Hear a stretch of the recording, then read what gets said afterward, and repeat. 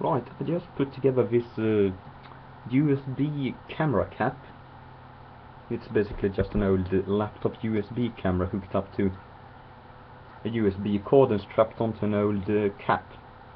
So I thought I'd shoot a test video with oh yeah. Just made a scratch on my stereo. You can even see it on the camera. Damn, that was not according to plan. Oh well.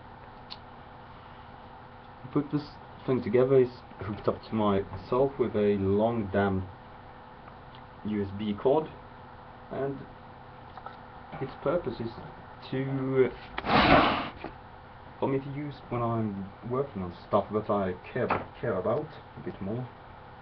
Not that it showed when I dented my bloody stereo, but when I'm soldering something or messing about with transistors and I put this one in there, I'm so I can find it again.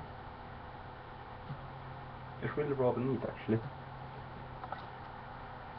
I've also got uh, VirtualDub set up on this little laptop here